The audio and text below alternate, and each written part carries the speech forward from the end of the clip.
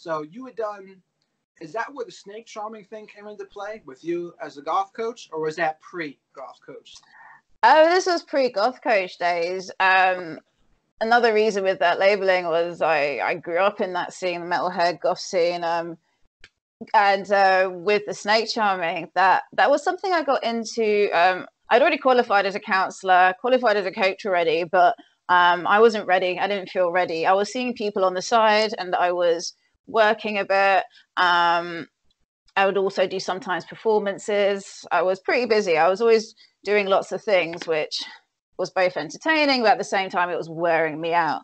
But the snakes, though, they they were. I, I made a video that I put on my uh, YouTube recently about how they actually helped give me the confidence, and um, it was from snake interaction, which started out through snake belly dancing and my belly dancing group we were dancing with snakes and it's not uncommon it's not a weird thing um, and then what I did, I would start going to goth clubs and metal clubs and dancing on stage there to my kind of music.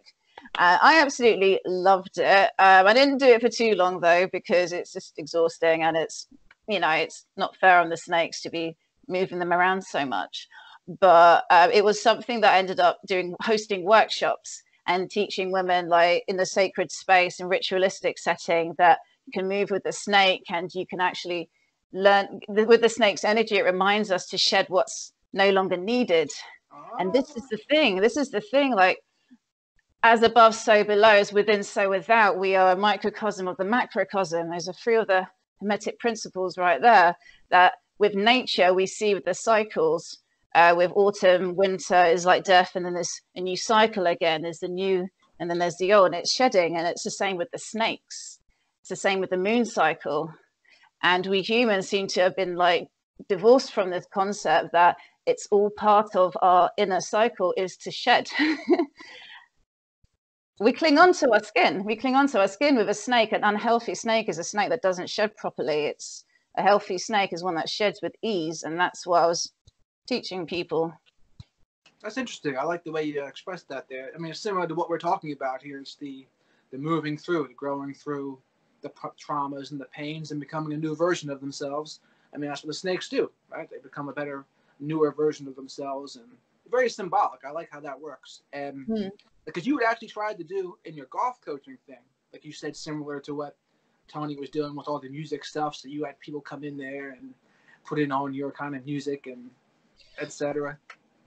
Yeah, I mean, I must admit, like with that, so what happened was I got pretty disillusioned with the, the coaching scene. I decided to pursue back with counseling again.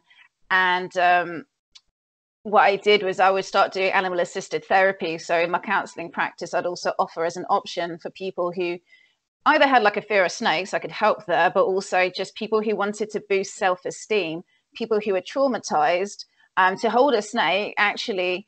I mean, provided they haven't got like a massive fear of it, but it's quite a wild creature. Not many people are used to handling it. So to hold it and to actually like survive the experience and realize, oh, it wasn't a big deal. It was quite invigorating. It's boosts your self-esteem. It boosts personal power. And it's just that shift that some people need to actually change their perspective and help them with their trauma a bit.